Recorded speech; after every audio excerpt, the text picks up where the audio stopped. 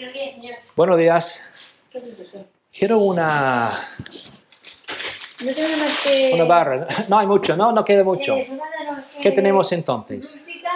Hola amigos, ¿qué tal? Stuart here from Spain Speaks and this river behind me is the Tagus River, one of the most important rivers here in Spain, known in Spanish as the Tajo and uh, up there, upstream, I have a town called Fuentidueña de Tajo and that is the town that I'm going to look around today because as you guys know, this is a series that I'm doing here in Spain in small towns and uh, that's the one that we're going to look at today.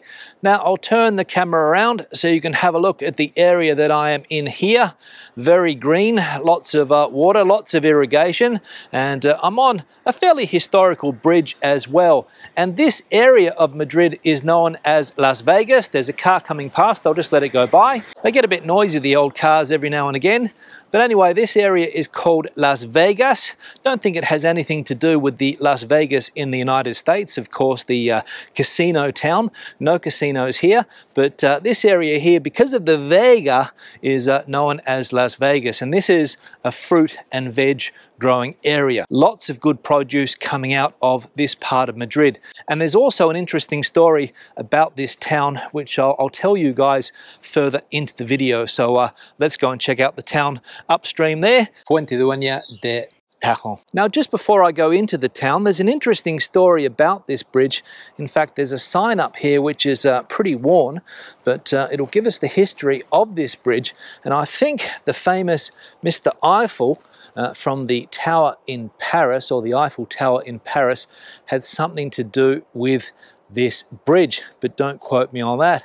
And we can see here that it's in English, Puente de Hierro, it is known because of curious facts and anecdotes because of its placement being an important road to the Portazgo de Alarilla and obliged passage to the Levante and Andalusia. It was placed where at first was a ford and the boat of Maroma and later a bridge in Cord. It was one of the four hanging bridges of the Deputation of Madrid and the actual one in iron was asked for by the deputation to the engineer Jose de Echeverria who went to France and asked for the construction to the same company, Imbert and Company, collaborating company with Eiffel. So there we go. It is true. Mr. Eiffel had something to do with this bridge in the background. Curious fact. Now, while I'm down here by the river, we'll check out what the village has to offer in a minute. But from what I can see here, there's a castle. Not sure whether the castle is accessible, but we'll try to get there. And uh, an important fact about this town as well is that not only is it on the border between Madrid and La Mancha, but it's also on one of the most important roads in Spain, which is the Valencia Road. And I'll tell some stories about that road further on in the video. River down there, and if we look around here, we can see all of these lands that are irrigated from that river. And uh, again, I'll tell a story about that as we go through the video. And we can see over there, I think, uh, it looks like they're growing corn. So a very important food production town, or at least it was, this one here, Fuentidueña de Tajo. Okay, so I'm back up in the town. We'll go and check out this uh, town here now. Uh, check out what some of the locals are doing. Just hit my head on a tree there. Uh, luckily, it's not a heavy branch. And uh, yeah, so we'll see what uh, life is like in this small town. Can't guarantee that I'll speak to any of the locals because my objective is to just look around, see what's happening. Uh, if conversation should arise, then obviously I'm going to partake, but I can't guarantee it. So uh, we'll go and check it out. And uh, also to head up to where that castle is and get an ideas of the views because that's also very important historically uh, what has happened in this town in the past. So let's turn the camera around and uh, the first thing that we're going to see here is some of the architecture in this part of Madrid on the border with La Mancha. Nice stone walls, two-story house, so a decent abode here. And uh, the main strip, and you always get an idea of what life is like in these towns by walking up the main strip. And uh, the only life that I saw in this small town when I came in was uh, at these three bars on the corner, or at least I think there's three bars, at least two, because I saw people sitting outside at at least two bars. So we'll go up here, check out what's happening. slow walk through the city. I might ask these gentlemen here if I can get up to the castle walking or whether I need to take the car. And that will be a different plan if that is the case. So let's check it out. Hola, ¿qué tal? Para llegar al castillo se puede ir andando o hay que coger el coche. ¿Andando sí? Todo derecho para arriba, para arriba, ya lo verá por allí una carretera de la derecha, allí. Vale, gracias. Fenomenal. Hasta luego. So there we've got it. You can reach the castle walking. So that is going to be my next objective. There's the other bar that I was talking about, Maison Plaza. We'll go down here and check out what's happening. Fruteria Tajon. I imagine that a lot of the fruit in that shop comes from the surrounding fields, or at least I would like to hope that is the case. A couple of gents there having a conversation. I'll just cross over here. Now, we'll try and find the church. There's uh, always an important church in these towns. Very religious over the years have these towns been, and I think that's the church up there. We'll go and check it out. Or maybe it's down there. Let's have a look. Don't know. It's either that one there or that one down there. So I think it's this one here. We'll go and check out the church and see if I can remember some of the history. Now we're in a small town today, only around two and a half thousand people. And from what I've read, the population hasn't grown all that much over the last 200 years. I think it was around the 1,500 mark 100 years ago, and it's around 2,500 now. So we'll check it out. This looks to be the main square. Very quiet. A couple of the locals over there. Elderly population, which are very common in these towns because young people out and about working on a day like today. Now, what is this building? Let's have a look. It looks historical. Torre de Reloj. So it isn't the church, it's the clock tower. And we can get an idea here. If I point the camera up there, we can see the time. So it's 12.20 p.m., just after midday, 20 minutes after midday. That's the time on the official clock tower here in this town, Fuente de Tajon. And again, we have the description in English.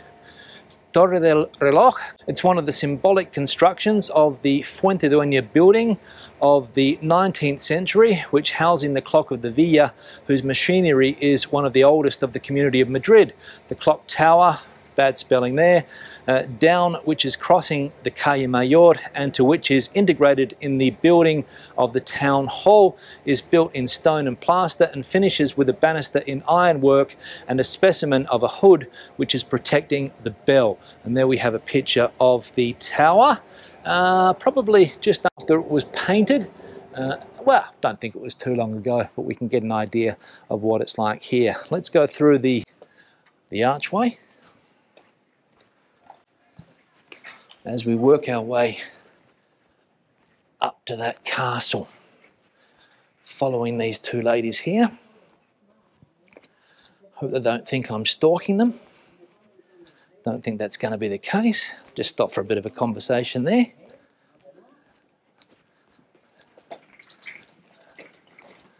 Buenos días. Polite, as most people are in these towns. And I think we've got the elderly residents up here because there's five or six people in their 80s or 90s sitting outside. Again, I'll make conversation and ask them whether I can get up to the castle walking. We'll see if we get a response like we did from the, the blokes at the bar. Yeah, this is the residence.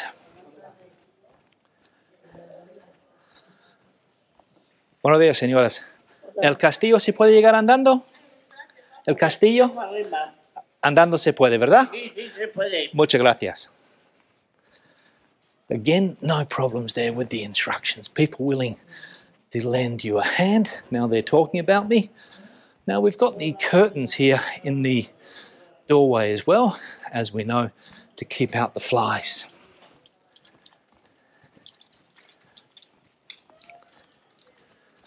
And again, the typical architecture in this town, similar to the village that we saw last week, or the town we saw last week, uh, whitewashed walls, and also buildings that could use a coat of paint or some type of renovation works, especially when it comes to the bars and the balconies there, or at least a coat of paint. And this place up for sale. Now here we've got one of the most active locals in the town, having a siesta here, or just relaxing on the side of the street. And we look around again the town. Now, is that the church? Is that the church? That's the question. Let's have a look. Okay, now here we have the main street, the Calle Mayor, and this is the church, I believe. Not a lot of action happening at the moment. So uh, if we were expecting to see people, it's not going to happen today, I don't think. I'll turn the camera around, Plaza de la Iglesia, so you can see it there. Now, a curious fact about this town was that back in 1937, the uh, Spanish Republican government put out a war propaganda movie called The Spanish Earth, and it was narrated by none other than Ernest Hemingway. And uh, a lot of these buildings that we're going to see here today featured in that movie. Of course, back in those days, 1937, black and white, wasn't in colour, so you don't get the same uh, quality of images that you're going to get today. But an interesting movie it was indeed. And uh, I'll talk a little bit more about the movie as I go through this video today. So let's have a look at the church. Let's have a look at what they say. Again, there'll be a bad translation, no doubt. Iglesia de San Andres. So we can see here, dedicated to San Andres. It is a Baroque building of the, what's that, the 16th century or the 17th century, sorry, with some elements of former epochs. The entrance is carried out from a porch which is supported by three Toscan columns. The church is in three naves with arches in the middle point on crossed way pillars. At the back side of the altar with the classicist Baroque altarpiece dominated by a painting of San Andres, saint of the village, after his martyrdom and death on a cross in form of a wing. At the Chapel of the Rosary exist paintings of the Presentación del Niño en el Templo y los Desposorios de María. Uh, down the tower of the bell place is the baptizing font and a painting on a silk tray which describes Saint Hippolyte pulled by horses and I think I pronounced that name correctly and here we've got a map as well which tells us exactly where we are. Now you might be wondering why these signs are in English. Well, I'll tell you that uh, this town, because of its location on that Valencia road, obviously has a little bit of tourism here, and no doubt also because of that Hemingway influence back in 1937. I reckon that movie put this place on the map. Uh, don't know how many people have seen that movie, but uh, of course, as far as uh, Civil War uh, propaganda movies go, uh, it's right up there, I think. Now let's have a look at the times that you can come in for Mass here. Uh, 7 p.m., we've got the residence. Saturday, 7 p.m., the church Mass. And Sunday, of course, the most important day of the week, 12 midday church mass there. So I don't think the church is open. Let's have a look at the outside. See a bit of rubbish lying around here because obviously kids come and sit down here and eat their pipas, their sunflower seeds, and have a smoke, and have a glass of water, sandwich over there as well. So uh, young people not respecting the, the heritage or the patrimony of this town. And uh, let's have a look at the stonework here. Yeah, amazing. Amazing stonework. And you would think that in such an important place in the town, the owner of this house would come out and paint this wall, but not the case. Now, there's the church up there. Is it going to be easy to get up there? I don't know, but that is my next objective, so let's go. Let's see. I don't want to ask any more people for directions, even though I could have asked that bloke there, but I think if I go down this road here, I'll be able to get there. Let's check it out and see. Okay, let's check it out. See how we get to this castle. When I get to the top, I'll tell you a little bit about the history of the castle, what I have read online about it. An important castle it was back in the day, going back centuries and centuries. There it is up there. It's a castle in ruins. It's not one of these places that has been uh, uh, well kept over the decades. In ruins, it is, but apparently you're allowed to visit it. And one of the things about this type of castle in Spain is that the local councils often don't recommend going to these places because obviously some of the uh, stones can fall and uh, you might get injured. So they uh, want you to keep away. Now, Fuente Salobre. Now this apparently is where the name of this town comes from. Fuente Dueña. It comes from this fountain here, which also, I imagine, has a very important historical past. And we can see, I don't know if you guys can see it in there, but there are fish. Is this water drinkable? No. Agua no potable. So you can't drink it. The water is not drinkable. So uh, yeah. And uh, looking at it, yeah, I wouldn't be drinking that anytime soon, no matter how thirsty I was. So there's that castle. Now, how are we going to get up there? That is another important question that I don't have the answer to. More cats here. Obviously, this is a some type of uh, cat colony. We can see here Colonia Felina Controlada. So this is set up by the local council, no doubt. There's at least three cats that I've seen running around there. And I think to get up to the castle, I need to go that way. I'm not sure. If there was somebody around here to ask, I would, but there is absolutely no one in sight. So I'm not sure. Let's uh, check out this sign here. Hopefully not going to disturb any more cats. There they are. Look at them. Hey, kitty, kitty, kitty. Hey, kitty, kitty, kitty. No, not interested are the cats. So these are some of the things that we've seen so far. So we've seen that uh, clock tower, the castle, I'm going to try to work my way up there now. We've seen the church, we've seen the bridge, and we've also seen the Plaza Mayor. But I'll head back to the Plaza Mayor on my way out. But uh, first, I want to get up to the top here. So uh, let's see how I go about doing this. Is it this way? Is it this way? I've got no idea. Okay, now I've realized that that's a dead end up there. I was going to go up there, but there's a fence, so I don't think the castle is accessible that way. Uh, there's some steps over there, not sure, but there's a road here. So let's have a look if this road will take us to the top. There is a path that I can see there as well. So I'm sort of deciding whether I'm going to go up this road here or take the path. There's a gentleman down here, so I'm going to ask him the best way to get up the uh, to the top. Let me see. I'll just ask him and see what he says. All right, let's uh, initiate conversation. Hola, buenos días, señor. Para subir ahí arriba, ¿cómo es? ¿Por el camino este de aquí o es por un camino de, de pie? Arriba del todo Sí, ¿se puede? Puede, pero tiene que ir por ahí detrás. Ah, detrás. Por donde está la fuente, esa que hay Sí, sí. ahí, hay un- una carretera que sube y se entra por detrás. Ah, vale, de acuerdo. O sea, ¿dónde está ese fuente? Sí, por ahí. ya, voy yo. voy Vale, para allá, gracias. arriba. Vale. Castillo de. Sí, ¿no? Es de los musulmanes, ¿no? No, este era cristiano, Ah, cristiano. pero servía para ver si los musulmanes Venían. subían hacia arriba la península. Ah, Este era de vigilancia. Se cuenta que había un túnel subterráneo que llegaba hasta el río. Ah. ah, sí.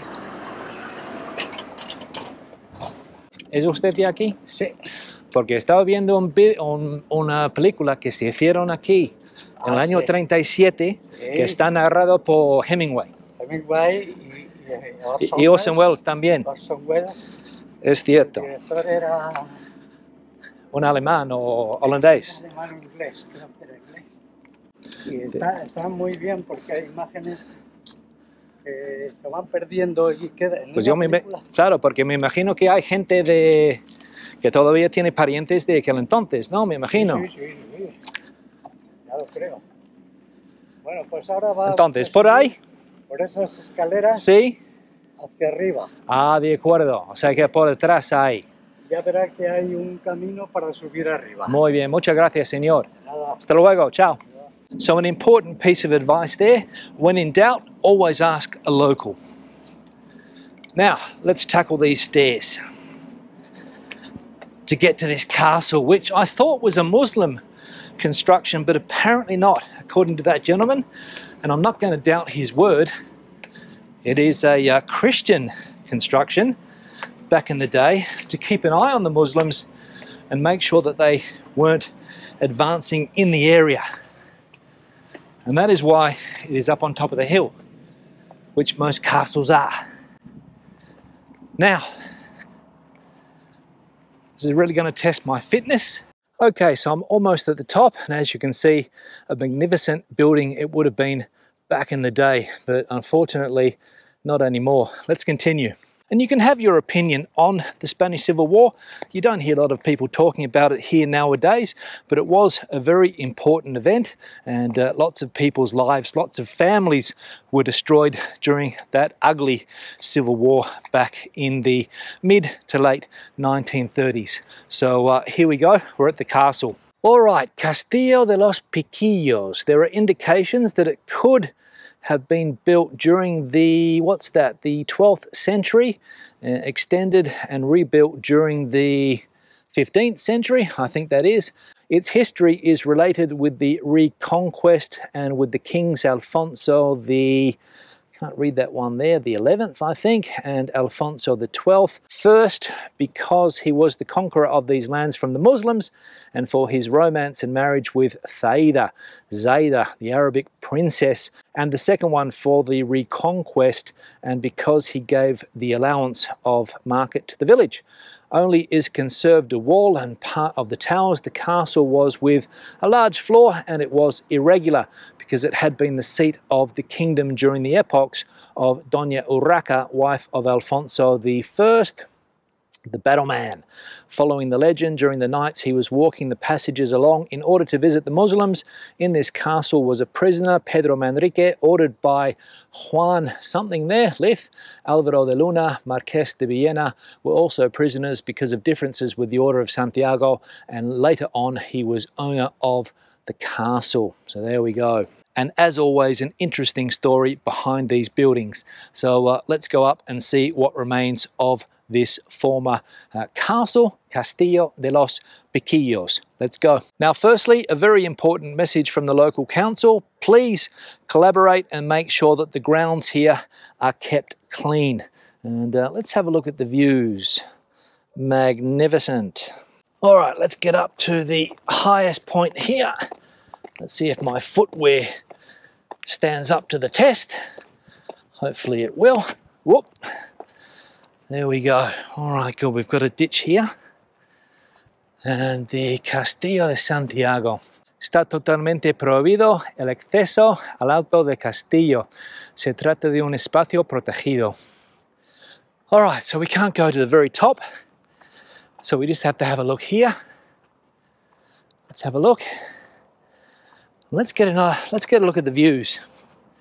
Even though there's a lookout over there, we'll get an idea here of what people were protecting or uh, on the lookout for. And as you can see, for as far as you can see, you've got basically flatlands. It gets a bit hilly around two or three kilometers down the track there, but very good views from the top of this uh, hill. That's why the castle's here, obviously, in order to uh, protect the Christians from the Muslim invaders, people that were trying to take over these lands back in the day. Or at least that's the story that I was told. So if you want more about the story of this castle, Wikipedia, or one of the many history pages online, but the view's magnificent. Now let's go to the uh, lookout over there. And uh, I'll just go over here quickly because there's a there's a cemetery as I said. So we'll check out the cemetery from here. There we go. So an important place in this town, not only the castle here, but also the cemetery. Let's go over to the uh, lookout. Now I'm going to go a different route to the lookout, a safer route. Well, so they've built this new part here. Somebody obviously not paying attention to the sign that told them not to leave rubbish lying around. And uh, when you stand up here, you get a feeling for what it would have been like all those centuries ago 10, 11 centuries ago. You were posted up here. Your job was to keep an eye out and make sure that the enemy forces were not approaching. Uh, probably along that road there, which obviously nowadays is a modern highway, but I imagine that many centuries ago it was also an important way to get to the city of Madrid. And as I said, when you stand up here and have a look out over these fields here, you get a real sense of the history and all of the things that have taken place in this country over the centuries. Absolutely magnificent, and uh, sometimes you forget that you're living in a modern European country nowadays. And as we can see down there with the amount of traffic on that road, that is definitely the case. And that is the town of Fuentidueña de Tajo. From up here, uh, the typical town in this part of the Madrid community and also this part of Spain. Now the idea is to go back down there, I'll head to the main square and then we'll go back and look at some of those irrigation fields and I'll tell you a little bit more about that story that I picked up on uh, with that movie and Hemingway's narration, some of the things that he said in that movie. So uh, it's back down we go. Luckily the walk down is a lot easier than the walk up. Now up ahead we've got a sign there advertising a Casa Rural, which is uh, some type of uh, country style accommodation, very popular. Jacuzzi, uh, you've got a hydro massage, sauna, uh, what else we got there? Chimney, uh, rooms with uh, bathrooms, so a real luxury accommodation there. Now a quick view back up the hill to where I was a few minutes ago. The church is over there. The thing about this town is that everything is close. Nothing is too far away. Only two and a half thousand people. We've got a psychology business over there in case people need that. And uh, walking down the main street, or at least I think this is the main street here.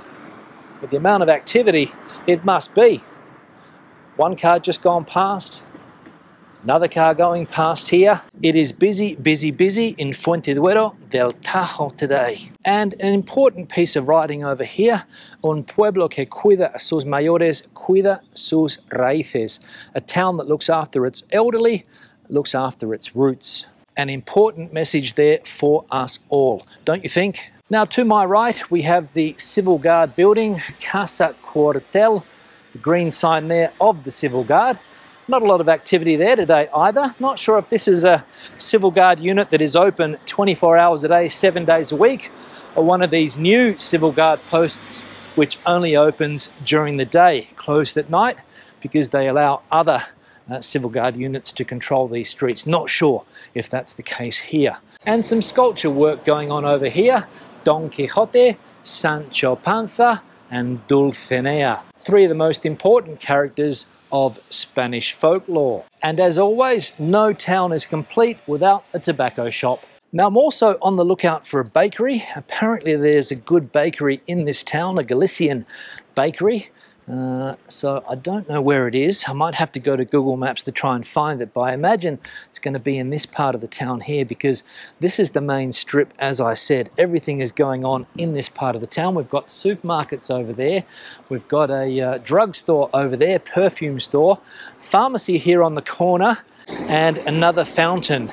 Elena Soriano, Fuentidueña de Tajo. And uh, Elena Soriano, I think, was an important author back in the day. Yes, she was.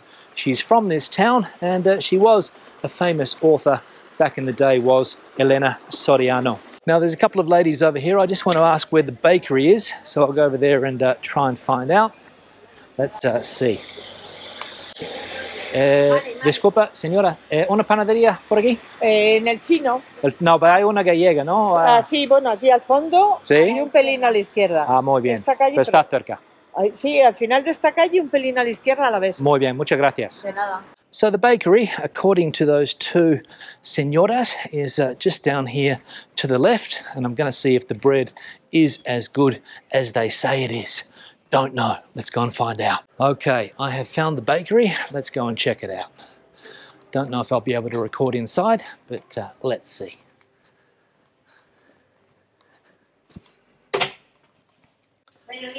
Buenos días. Quiero una, No tengo más que... una barra. No hay mucho, ¿no? No queda mucho. Eh, ¿Qué tenemos entonces? Y una eh, candeal hueco. ¿Las redondas qué son? Eh, candeal. Pues voy a llevar una de esas. Vale. ¿Esta le gusta? Sí, por ejemplo.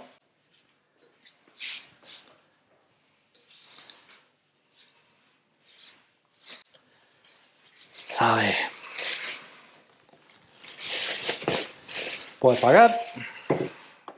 Pues tres euros. Vamos a ver, tengo aquí cinco.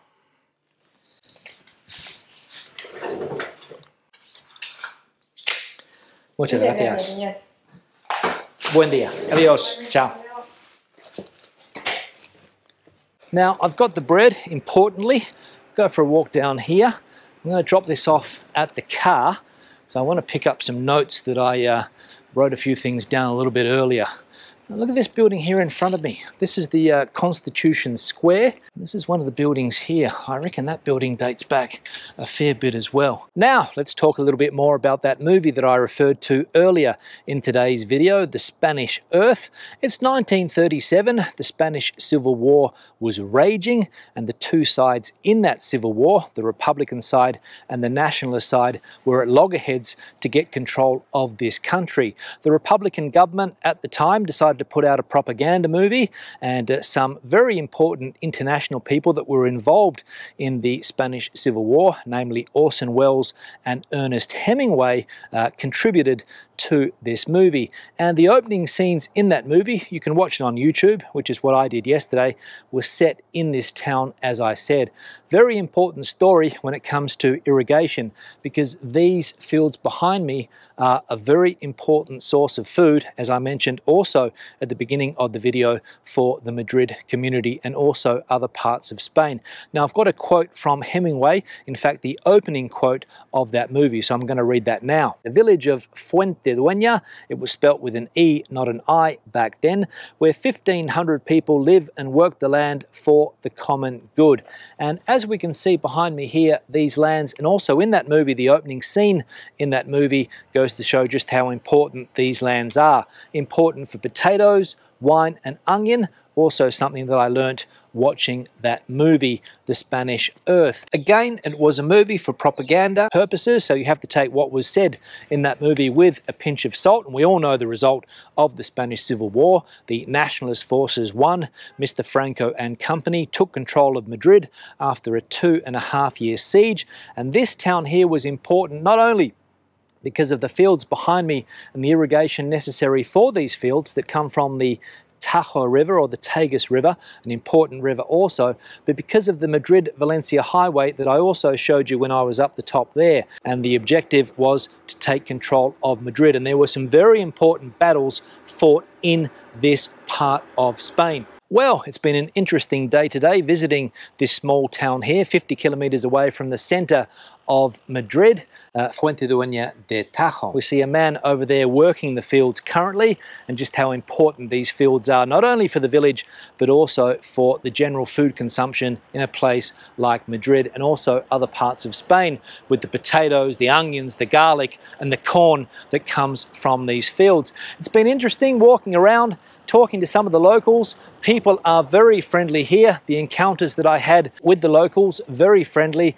So if you're passing through this part of Spain, if you're driving to Valencia and you happen to pass through this town, stop, check out the castle, buy some bread and say hello to the locals. That would be my advice. Going to wrap the video up now. Questions and comments, please leave them in the section below. If you've got something to add to the conversation, the comment section is the place for you. Give the video a thumbs up if you liked it, thumbs down if you didn't. I'll see you in the next video that I do in this series. Until then, hasta luego, hasta entonces, bye bye.